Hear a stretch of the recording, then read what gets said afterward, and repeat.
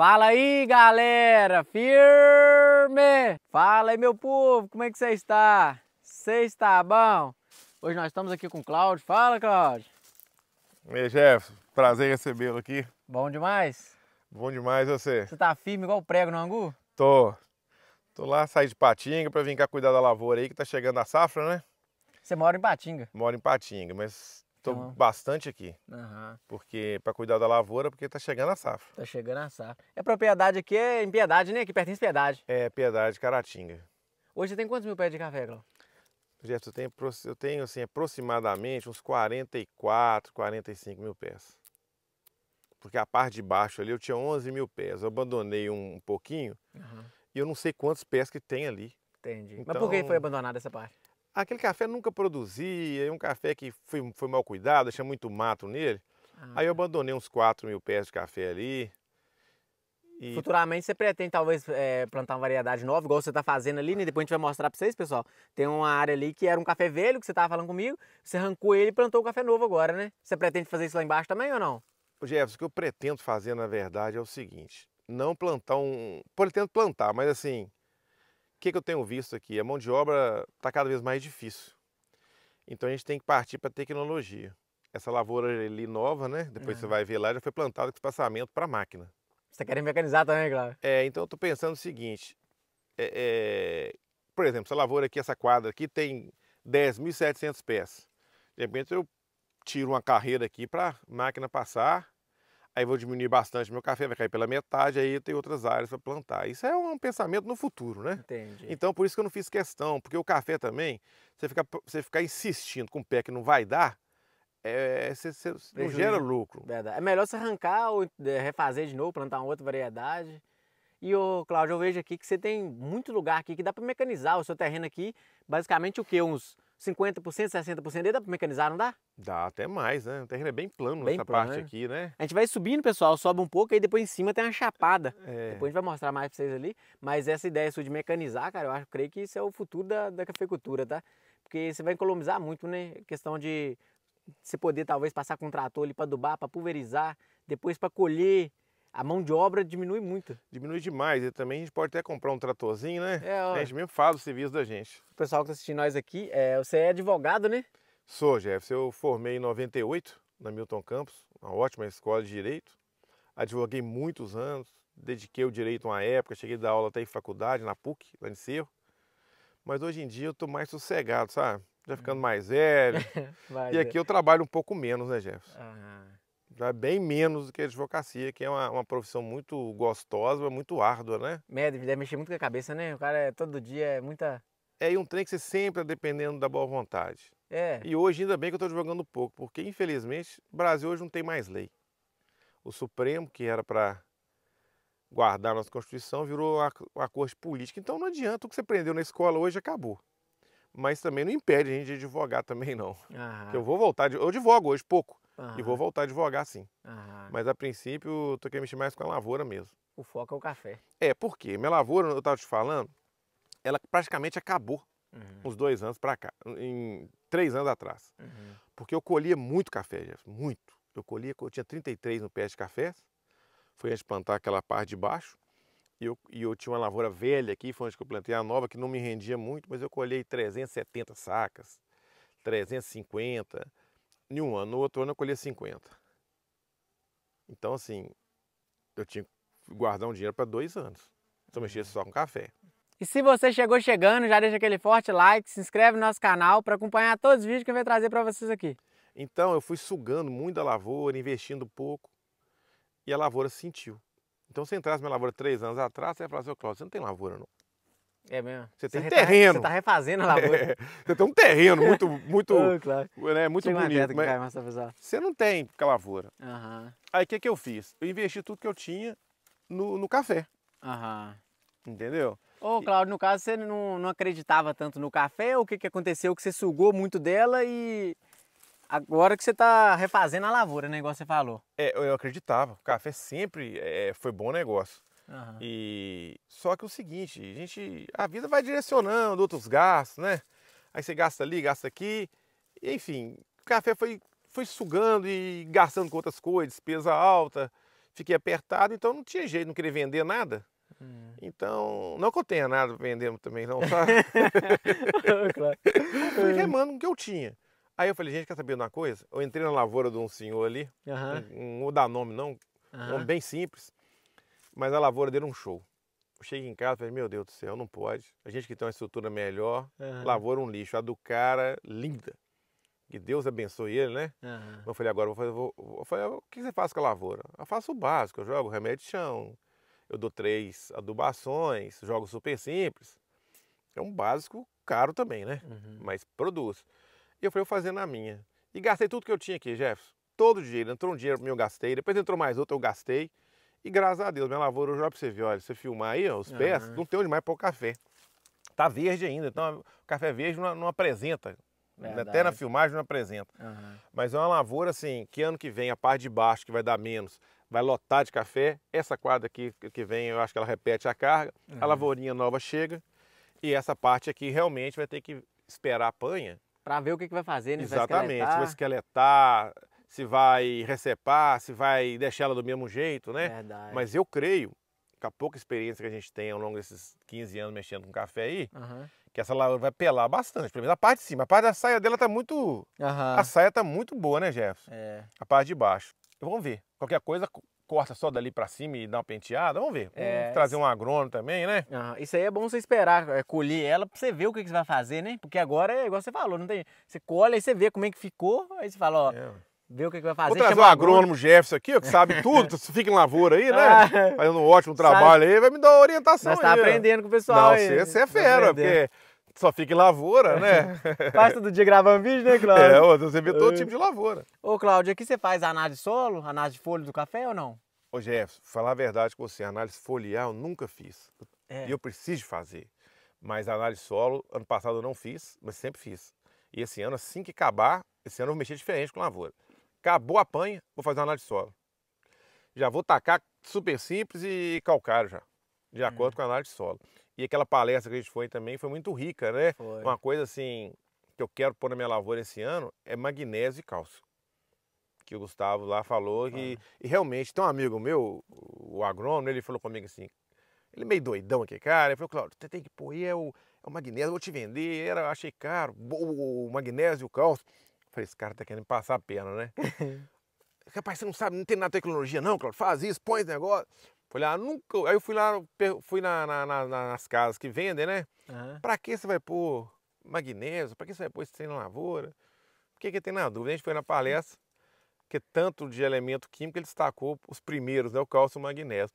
E uma coisa que ele falou interessante, que é bom quem for ouvir o vídeo aí, uhum. que mexe com café araras, quem não foi, ele falou o seguinte: o café Araras é um excelente café. Esse que eu plantei aqui, até naquela caixa d'água lá. Uhum. Ele falou que foi em várias lavouras, o café Araras não estava produzindo bem, né? Aí o que, que ele viu? Ele falou que faltou magnésio, que o café Araras, ele falou que depende muito do magnésio. Consome muito, né? Ele falou, eu não sabia disso, uhum. então já vou tacar magnésio aqui. Uhum. Então o café, Jefferson, ele, ele, ele, igual a palestra lá, ele falou uma coisa certa. O café sobra aí, se você souber mexer, de 30% a 40%. Verdade. Que não é mau negócio, não. Entendeu? Isso aí, sobra isso aí, você tacando três adubações, pode tacar duas. Uhum. Mas o café, tanto mais você cuida dele. Mais o retorno é maior, né? Mais ele te dá o retorno, eu penso assim. É, até da irrigação também, né? Que ele até citou também, se tiver com uma pessoa irrigada, dependendo do lugar for muito seco, que a produtividade é muito maior, né, claro? É, a irrigação é uma faca de dois gumes, eu penso assim. Hum. Porque você pega aí na região do Espírito Santo da Bahia, eles produzem demais o conilon. E o canilão hoje é o maior negócio do mundo porque era um café barato, hoje está no preço do Arábica praticamente. É. Tanto é que tem um, um, cara na Bahia agora que vai plantar no sul da Bahia 14 milhões de pés de café. É mesmo? É, vai plantar lá. Todo mundo sabe disso lá, pé de Pouso da Mata ali, uhum. na Bahia ali. E muito produtivo, né, Claro? É, produz demais. Ele, ele é irrigado. Ele é no gotejo, já fui lá, é gotejo. Aí, pessoal, estamos aqui agora na lavoura nova, né, Cláudio? Essa lavoura está com quanto tempo? Plantei essa lavoura aqui, essa parte de cá, 26 de dezembro. 26 de dezembro. Então, nós estamos em abril, né? Um ano e quatro meses, três uhum. meses, né? Aí, pessoal, ó. Pra maio. Esse aqui é o arara, né? É o arara, é. Café arara. Ô, Cláudio, qual que foi os pensamentos que você usou aqui? Essa... Eu usei 3,20, tipo 70.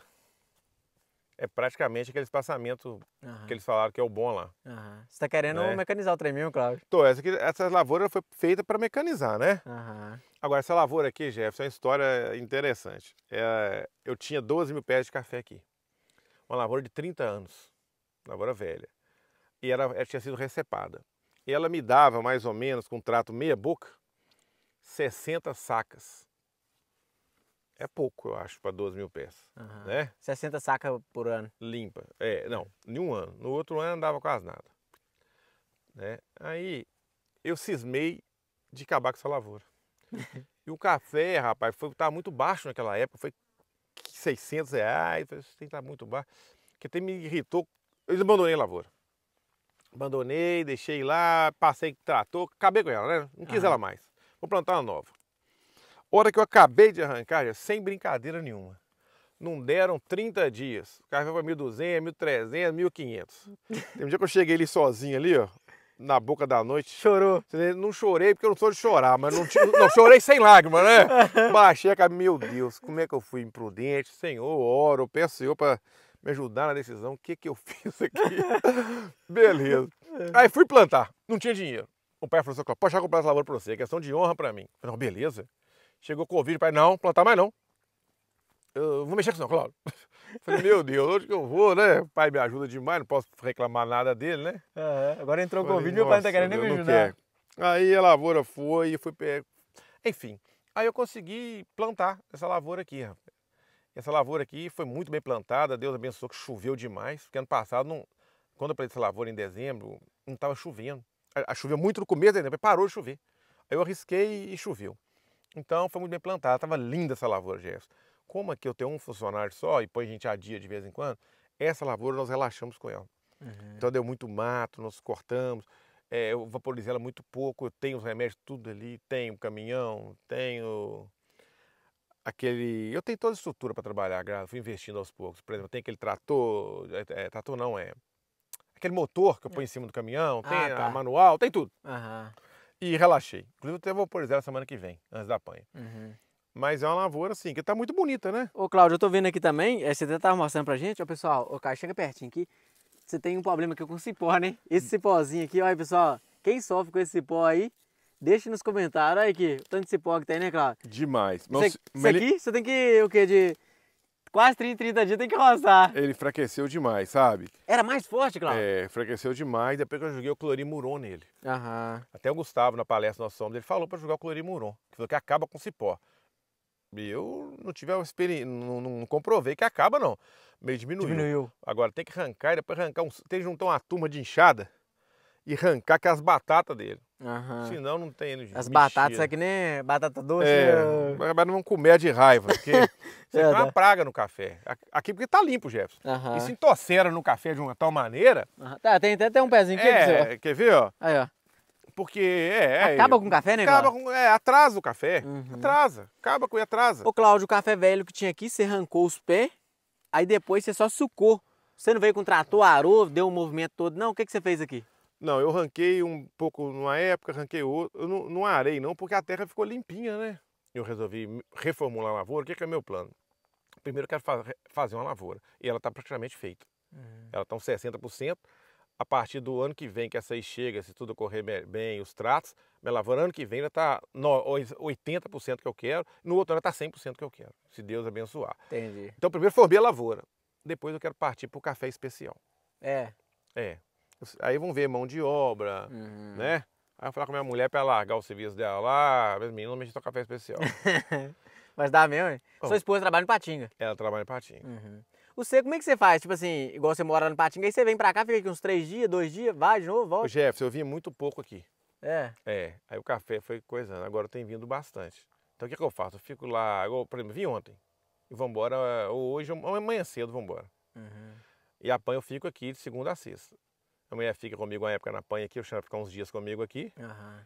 E eu fico lá em casa, já me saio na terça e volto na quinta ou na sexta. Sacrifico um pouco a família. Eu tenho filho de três anos e, e meio, Aham. mas não tem jeito, né? tem que trabalhar, ué. Ô, Cláudio, como é que é o nome daquele rapaz, amigo seu lá de Patinga, que foi lá em casa que dia na o tua? Luciano, o Luciano. Luciano tá em empolgação. Ô, Luciano, ó, forte abraço pra você aí, que Deus continue abençoando a sua vida. Conheci ele há pouco tempo, cara É legal demais. Legal demais da conta. Ele é apaixonado com café. É. É. Mas, Já deixa o like aí já também, pessoal. Só que o Luciano é um grande engenheiro nas Minas, né? É, ele é engenheiro, é, né? ganha bem, tá com Uhum. burro na sombra. É. Aí, Se Luciano, ó. mexer com café não, porque É café é só molação. É, o Luciano é, o tá Ô. Luciano, é verdade? Deixa aqui nos comentários. Você já tá com burro na sombra. Luciano tá, Luciano tá tranquilo. Mas merece Mas é também, bom né? demais, Porque ele é né? muito íntegro, muito bacana, Ah. muito amigo, né? Aham. Ô, Claudio, você tava falando que você tem um filho? Dois filhos? Dois. Dois? Não, tem um filho e uma filha. Aham, um casal. É. E, e a sua patroa também? Vou mandar um abraço pra ela aí? Vou mandar um abraço pra Raquel, essa linda mulher, tá ao meu lado aí, ajudando aí, né? Cuidando bem dos meninos lá, né? Porque é uma tranquilidade, né, Jeff? Você tá aqui sabendo ter uma ótima mãe lá, porque menino de três anos e meio dá trabalho. Então, mandar um abraço pra Raquel, queria estar aqui, mas infelizmente não pôde. Ô, Cláudio, essa aqui é uma outra lavoura, né? É, essa lavoura aqui, Jefferson, é uma lavoura o seguinte. Ah, Essa parte de baixo aqui eu vou ter menos café esse ano, mas ela tá até boa de café. O que, que eu fiz essa lavoura? É uma das partes que tinha morrido. Tava pior de toda essa parte de baixo. Umas eu cortei só a copa, uma eu esqueletei, misturei. E agora você vê que ela tá muito armada. Olha, você conseguiu filmar para lá, como é que ela tá toda folhada, muito bonita, né? para ano que vem. É, pro ano que vem. Esse ano essa aqui já tem um café bom também. Você entrar dentro dela aí, Uhum. essa quadra aqui tem 2.500 pés de café, amarelo, o 2SL, né? Aqui é 2SL. É, o esse- antigo ou aquele melhorado? Não, é, o- é o- é o, O antigo, É o antigo. Melhorado eu tenho uma outra. Eu esqueci, o- esqueci é 14,8, não sei, eu esqueci o melhorado. Aham, você tem lá. Tem naquela nova da parte da caixa d'água para cima. Uhum. Mas tá boa de café também, ó. Essa aqui também é outro exemplo de perseverança também. É. Cara, que olha essa, essa lavoura aqui, tá vendo que ela precisa de quê? De um desbrote, Aham. um desbrotamento. Vai desbrotar agora depois da colheita? Ah, tem que desbrotar, senão você não tem café, não. O Gerson, hoje em dia, uma dica que eu dou para todo mundo aí, que todo mundo já é cansado de saber, né? Sabe mais que a gente. É o desbrotamento. Você não desbrotar café. Colhe não, né? Não é que não colhe, ele dá menos, ele entorcera. E a maioria das lavouras que a gente vê é tudo entorcerada. Verdade. Essa lavoura aqui, toda entorcerada, mas eu não pude mexer porque eu tinha reformado. Não desbrotei na época certa, que era ir lá para março, agora, eh, no ano passado, agora não tem como desbrotar não, ué. Não que chegando o café dela. Uma lavoura dessa aqui você pretende, talvez no futuro, igual você falou que tá melhorando aqui, as de cima plantou outra nova, né? Lá vai cuidando das, das novas. Depois, quando ela pegar um certo tamanho, você pretende refazer algumas lavouras dessa velha sua? Arrancar ou plantar outra variedade, espaçamento melhor, alguma coisa? Ou você vai cuidando dela do jeito que tá? Ô Jefferson, isso aí varia, porque a gente tem que ver como é que as coisas vão desenvolver, ué. Vamos No supor, seu pensamento você não tem isso então, não? Agora, no momento, não. o meu pensamento eu tenho é ir- ir ajeitando para o espaçamento de máquina. Aí Ah, sim tá. plantar, porque, vamos supor, eu não tenho como responder essa pergunta no momento. Por quê? Vamos supor que essa, essa quadra aqui está muito bonita. Ela vai desbrotar. Ano que vem isso aqui vai lotar de café. Então, se eu tiver uma produção alta aqui todo ano, eu vou desfazer a lavoura para quê? Não tem sentido. Porque esse café é muito bom, é. Do SL é um café que bebe mesmo. É- Apesar que eu nunca tive problema com bebida de café. Uhum. Eu acho que bebida de café é o trato e o terreiro. Não sei também. A Secou a secagem a direitinho? experiência tá? que eu tenho aqui, né? Porque Ah. cada, eles falam, cada um fala um trem. A café já vem bebida lavoura. Né? Mas esses cuidados, eu acho que isso é tudo um complemento, né, Cláudio? Cada coisa, ó, igual apanhar na época certa, secou lá direitinho, não deixa o café mofar, não leva o café muito velho. Tem gente que deixa o café dois, três dias na lavoura, depois leva, aí acaba isso aí tudo atrapalhando a bebida do café, né? Eu penso assim, eu, por exemplo, eu puxo café todos os dias na lavoura. É, Com exceção, se de um dia ou outro ficou muito tarde, aí no outro dia cedo. Entendi. Eu que puxo o café, né? Ah. Eu mesmo dirijo o caminhão, o 608 velho ali, eu aprendi a dirigir, né? Que eu É. não dirigi, eu dirigi o outro que eu tinha, o F4000, depois aprendi. Então, todo dia eu pego café na lavoura. Just- E põe no terreiro também, não deixa em saco não. Você tem um secador lá também? Eu tenho um secador, né? é, Um secador rotativo e tem três terreiros. Você murcha ele no, no, no terreiro, depois joga para o É, eu, secador? eu gosto de deixar pelo menos uma semana no terreiro. Agora, tudo, né, Jeff, depende de como é que vai andar. Por exemplo, eu gosto de deixar no terreiro, eu começo a apanhar, começa a chover. Vou tacar no secador. Né? Verdade. Isso depende, vai depender de acordo com a É, carruagem, né, mas, mas, mandando? mas o- a, a regra geral, né, que, que não chove muito em panha, com exceção de um ano ou outro. Eu deixo ele no terreiro e eu que fico secador também. Ah, tá. Só que eu não gosto de ficar virando noite secador, não. Eu não aguento trabalhar, ó, no dia de 7 horas tem- que vir na lavoura, tem que ajeitar o, terreiro. Então o que, que eu faço? E o café também, eu acho que ele é bom dar uma esfriada no secador. Quem me ensinou isso foi o Ademar lá do Centro de Excelência, que serve café para todo mundo. Uhum. Falou, Cláudio, café é bom você rodar até umas 11 horas da noite, descansa ele. E assim meu café sempre tem bebido, com raras exceções. Uhum. Gosto sempre de dois, duas pessoas no terreiro, para rodar junto, senão o cara pode desanimar. Café não pode, é o que você falou, é tudo engrenagem. É. Você não pode pôr um café muito grosso. Você não pode deixar café mofar no saco. Você põe ele todo seco, a tendência é ele não beber. Você apanhar ele igual todo mundo tá apanhando verde aí, vai dar cata, vai ser pior que um rio. Tá dando 14 sacos com a saca. Eu falei, então se der isso aí, eu vou quebrar, ué. Tu vira essa boca pra lá, ô sambalate. 14 sacos, você tá é doido. Isso é um sambalate. Você tá é doido. Meu menino, vira essa boca pra lá. Falou com a realidade. Só se for saquinho de açúcar, né? É. De 5 quilos, nossa Deus. Não, mas dizem que as lavouras estão dando 10 aí. É muito. Um, um café verde que eu já apanhei, né? Café mais verde, dá uma medida boa, dá na fase de 8.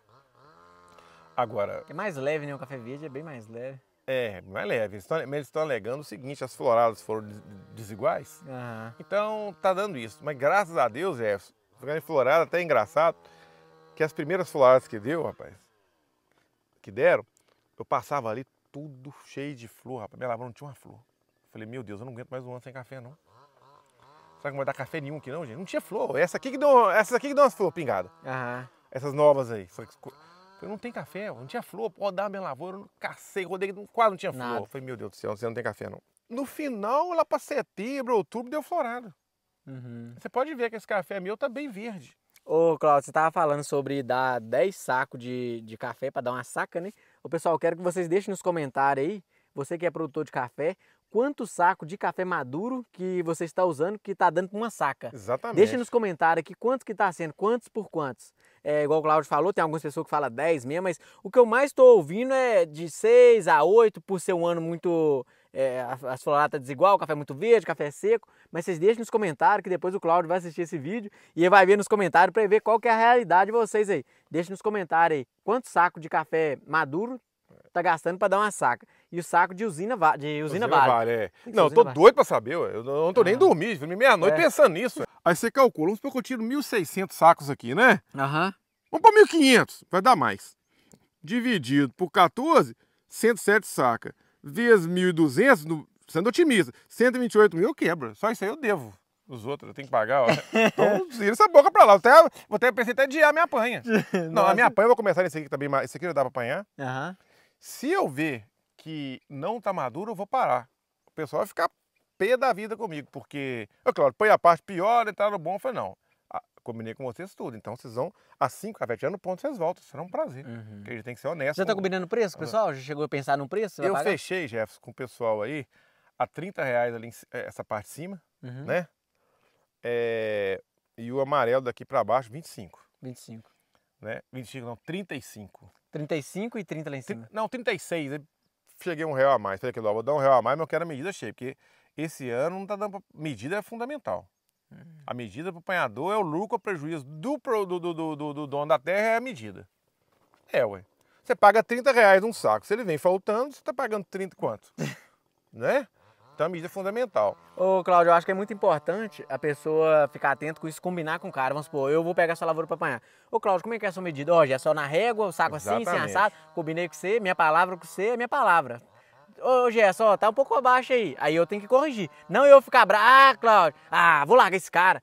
Entendeu? Mas se você vê que a medida tá file- filezinha, tá tudo no esquema, é tipo assim, algumas folhinhas todo mundo sabe que fica, que tem gente também que é enjoado demais. Ah, não, cata todas as folhinhas. Não gosta que fica folha no meio do café, não. Porra, o cara tá enjoado. Você é um cara enjoado, Cláudio. Não, não, ao contrário. Eu, tomo eu sempre fui um cara, sou enjoado com algumas coisas, com isso eu sempre fiz vista grossa. Aham. Só que eu combino antes com a medida. É, tem que combinar A antes. medida, o, o- saco de café, Jefferson, eu penso assim. Porque a gente já tem uma certa experiência com café, só de eu chegar aqui, ó, eu já sei o saco se tá bom ou não. Ele pode estar lotado, porque não engana a gente. Mas o que, que eu falo com o empregador? A medida é passando reto, e a hora que você puxar o saco, que eu for pelo caminhão, ou, ou- ou na estrada, Aham. ele não pode abaixar quatro dedos. Tem que baixar no mar de dois a três. Essa é a medida. Porque você ficar olhando picuinha, você não, não vive. Né? Verdade. Porque uma coisa, você, você sabe melhor que eu, você já apoiou café. Então, por exemplo, eu trago o café de uma lavoura no meu saco, né? Põe ele retinho, não. O cara não faz isso, você vai e vira em outro. Claro que, que a medida, aparentemente, o saco dele vai, vai, vai, vai, vai crescer. Então, é. Então, você ficar olhando isso aí, você, você não tem ninguém do seu café. Então, o que, é que eu falo, gente? Ó, tá, medida é essa. Então, assim, tudo tem, é conversado. Hoje em dia, você. é, eu sou o dono, mas eu preciso do, do, do, do, do, do apanhador. Verdade. E eu não tenho, eu não sou melhor que o apanhador que eu sou o dono. Ao É. contrário, eu tenho que ser pior, eu tenho que servir o apanhador dentro de um limite da, da- do combinado. É. Porque eu preciso do apanhador. Então o apanhador, que é um amigo meu, Verdade. Eu não posso dar o apanhador, ah, eu sou chefe, não. O apanhador é meu amigo. Porque se o apanhador, meu café cai no chão que eu quebro. Então o apanhador é meu amigo. Agora, o que, que eu tento combinar? O que, que eu, respondendo essa pergunta, eu passo assim, ó. Vamos na hora de pegar, eu, eu gosto de falar com uma pessoa só. Então tem um, tem um mais ou menos quem é encarregado da turma, né? Aham. Eu chego perto dele e falo, olha, aquele saco ali podia caprichar um pouco mais aí. Pra não ter que cortar. E, mas a turma que vai vir aqui parece que é uma turma muito boa, uns caras muito bacanas. reclamar. Não, o pessoal- os baianos, eles são bons na medida. É. São. São muito bons de medida. E, mas agora, na- nessa chuva agora, Jesus, eu vou comprar aquele produto, como é que chama? É um pré-emergente. Eu vou tacar mal dentro do pé de café. nascer. Acho nascer. que dura seis meses aí. Uhum. Caro pra naná. Mas é um caro que... Compensa, né? Compensa, não sai caro. Caro é você ficar um, três, quatro caras na enxada aí, e, né? E além disso, o cara Nem rende muito, dá um não tainho no pé de rende, café. corta os pés. Exatamente. atrasa demais o pé de café. Verdade. Porque o cara, infelizmente, não são todos, a maioria quer pegar o dinheiro dele. Pago 100 reais por dia, beleza. Se o cara quebrar 10 pés ali, se descontar um real, ele não aceita. Verdade. Então, hoje em dia, é tecnologia. Eu acho que se não partir para tecnologia, você não tem lavoura com qualidade, não. Ô, Cláudio, aqui. Aqui. Brigadão. Eu que agradeço. O pessoal aqui, ó, já deixa o forte like aí já. Compartilha esse vídeo aí com um amigo, com conhecido. E muito obrigado aí, Cláudio. Eu pela- que agradeço, Gerson, né? Oportunidade, as portas estão abertas aí. Valeu, nós estamos juntos. E eu tô com um pouco apanhador, vem cá pegar café pra mim. É melhor que fazer vídeo, cansa menos. Aí, pessoal, tá querendo que eu venha cá apanhar café pra ele. Mas e como é que o pessoal vai assistir os vídeos lá? É, não vai tem, ter jeito de eu não. fazer vídeo? Desfiz o que eu falei, É. pega os erros nos vídeos aí que tá melhor. Ô, pessoal, aqui, ó, muito obrigado aí. Que Deus abençoe a vida de cada um de vocês. Já deixa o like, compartilha o vídeo aí e bora pra cima.